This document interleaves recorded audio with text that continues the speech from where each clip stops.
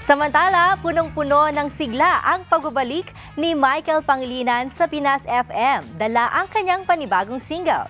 Ang kantang Tayo na lang ang bagong awitin ngayon ni Michael matapos ang nauna niya na hanggang kailan.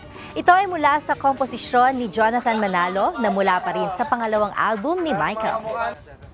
Nangangarap siya na sana sila na lang. Kaya ang title is Tayo na lang.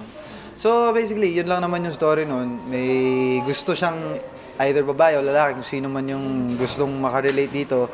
Gusto niya, siya na lang yung maging kapartner nung may partner na. So, yun, yun yung story nung tayo na lang and included pa rin siya dito sa second album.